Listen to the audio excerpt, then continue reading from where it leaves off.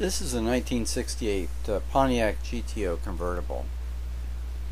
It looks in beautiful shape. The uh, the uh, paint is excellent, bright red. And looking under the hood here, they've painted the engine to kind of match the uh, exterior color and uh, an aftermarket uh, air cleaner red plug wires so they've done some decoration here under the hood it looks very uh, very neat though and uh, has some aftermarket wheels.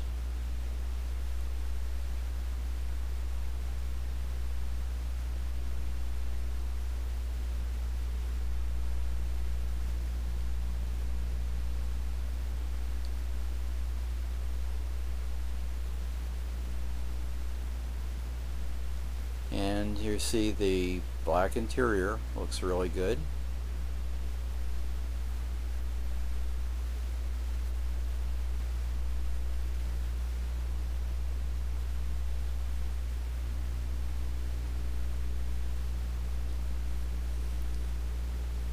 Now the tach is kind of mounted at an odd angle. I don't know what's going on with that.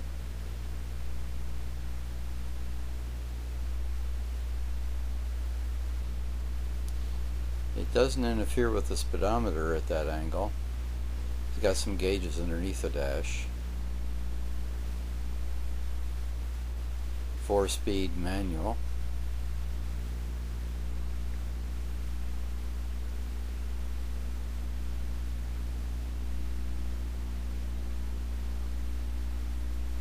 The paint really looks good here.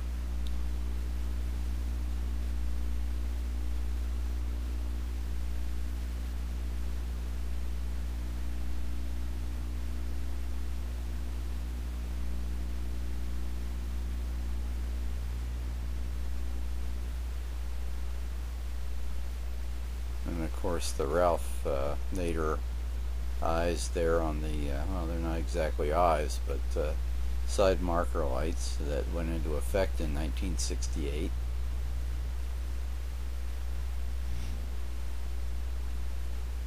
Six point five liters, I believe.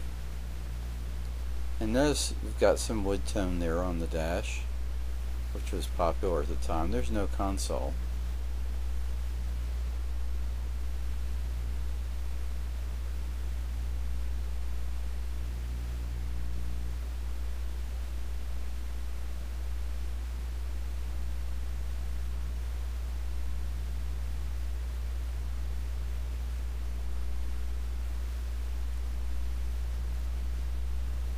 But all that chrome under the hood really looks uh, looks nice and dresses up the car.